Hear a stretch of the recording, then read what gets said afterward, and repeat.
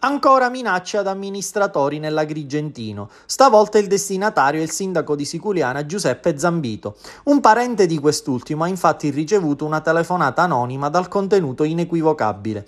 Quando ha sollevato la cornetta per rispondere, dall'altro capo del filo una voce anonima ha pronunciato la frase Digli a Zambito di farsi la scorta.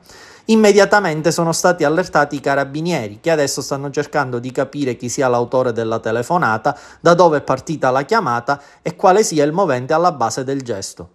Gesto che conferma quanto sia difficile fare l'amministratore in territori di frontiera come quelli siciliani. Intanto Zambito ha incassato la solidarietà di alcuni componenti dell'ambiente politico agrigentino. Nei giorni scorsi si era registrato un altro caso simile, quando al vice sindaco di Bivona Salvatore Cutrò è stato sfondato il parabrezza della propria vettura.